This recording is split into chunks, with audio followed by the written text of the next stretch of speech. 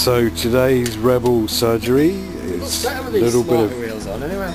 I think so. carburetor adjustment, fuel tank. In fact, it's all about fuel today. All about saving gear. A little bit less at the front, a little bit more at the back. No. Oh, I can't get that Oh, off. Oh no! What? Screwdriver.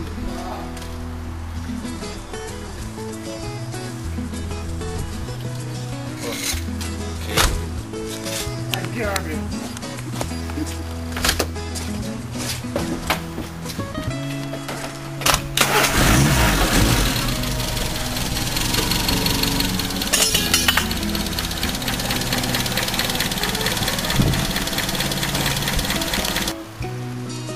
Right, the carb's been set up now, the tick over's lovely, throttle mixture's lovely. But, is an unusual but, the petrol tank's still on. We're trying to get rid of it because we don't need it anymore. no we do, we just leave.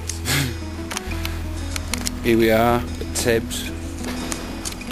Fabrication, welding specialist, painting, bodywork, all round guru.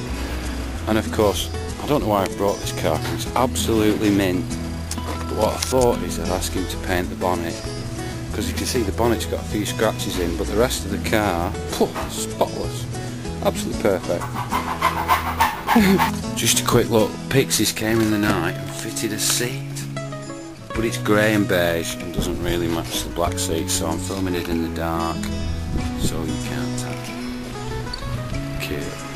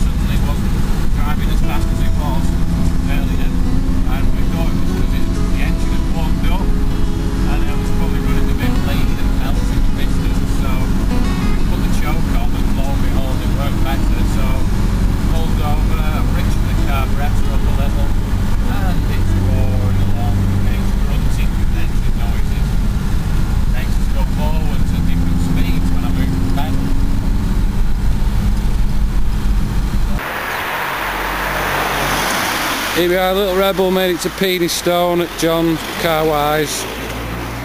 There he is, there's Brosner, and the car was wicked.